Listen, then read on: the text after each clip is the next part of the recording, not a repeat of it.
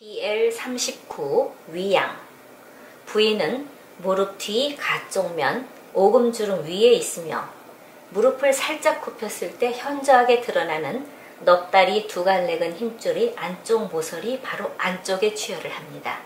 자침할 때는 0.3에서 1촌 직자를 합니다.